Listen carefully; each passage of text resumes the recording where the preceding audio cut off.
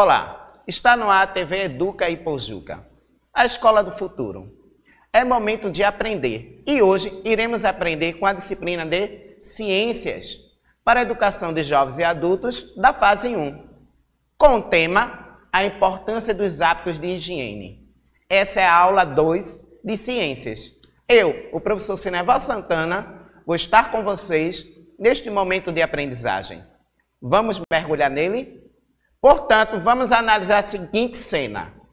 Você está vendo algum cabelo em minha cabeça?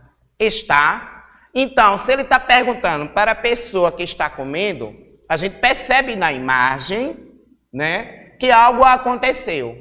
Algo estava dentro da sopa. O que seria? Analisando também a imagem da pessoa, ela não tem cabelo na cabeça, mas ela tem pelos em grande escala, ou seja, bem grandes, né? Na parte dos sovacos. Portanto, o que, que de estranho e engraçado essa cena pode nos dar? Lembrando que o que aconteceu com a comida, que é o fator primordial para nós agora neste momento. Bem, é importante que os hábitos de higiene do corpo para a saúde individual e coletiva. No caso, seria necessário a higiene do corpo para justamente não atingir a saúde do cliente que foi ter um cabelo na sopa. Vamos perceber, entender um pouco mais do nosso assunto? Por que devemos manter bons hábitos de higiene? Por que será? Se você quer manter a saúde em dia e evitar o surgimento de doenças, cuide da sua higiene pessoal, a limpeza correta e regular do corpo é fundamental na, pre, na prevenção de doenças causadas por vermes, vírus, fungos e bactérias. E esses vermes, fungos, vírus e bactérias vão estar bastante acumulados em nossas mãos. Por isso, é importante sempre lavar as mãos. E uma prova é a situação da pandemia atual que a gente está. Caso contrário, se a gente não tiver higiene, vai se contaminar com o vírus. E aí a gente percebe que hábitos de higiene são cuidados que devem ser tomados para garantir melhores condições de saúde e bem-estar. Se eu estou bem de saúde, então eu estou com bem-estar. Estou bem para caminhar, para me divertir, para conversar com as pessoas, para até ter momentos de alegrias com a minha família.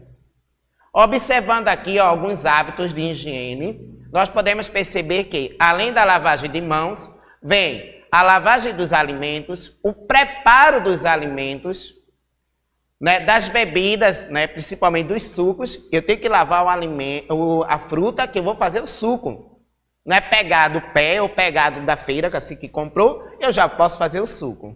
O liquidificador ele vai triturar, mas não vai matar os germes, as bactérias e os vírus.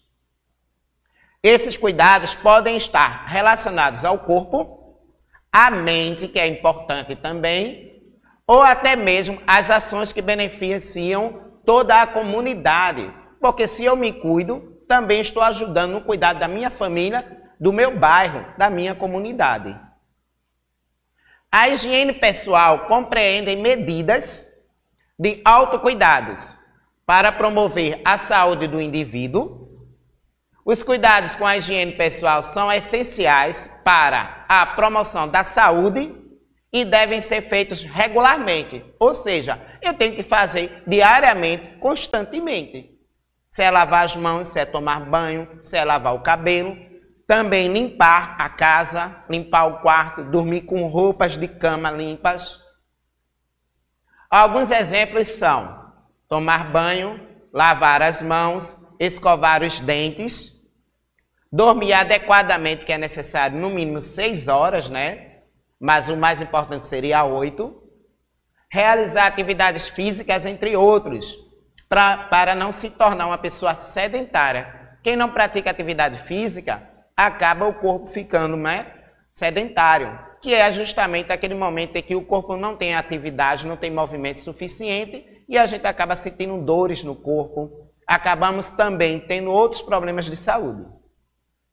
Aqui são alguns momentos ó, de higiene pessoal que a gente pode ver. a pessoa tomando banho, a questão do uniforme limpo e completo, o cabelo protegido, quem faz alimento, né? Quem cozinha, né?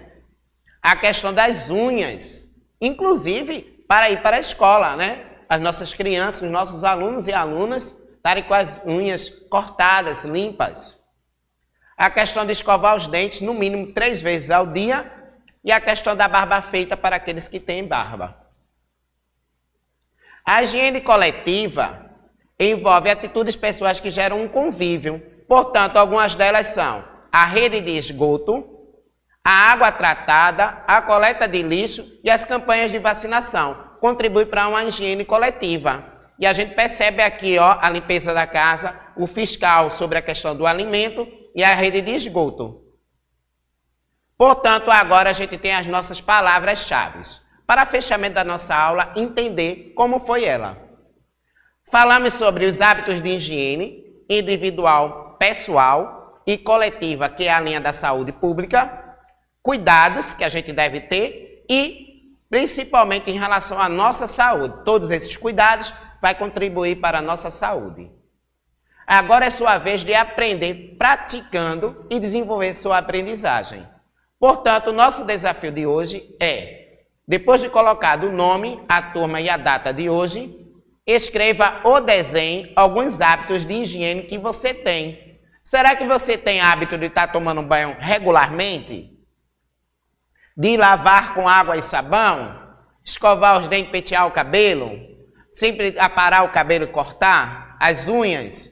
E assim ter todos os hábitos e cuidados necessários para uma higiene pessoal e também social, que é aquela limpeza de casa, da comunidade e evitar lixo nas ruas. É isso aí, pessoal. Agradeço a presença de todos e até a próxima aula.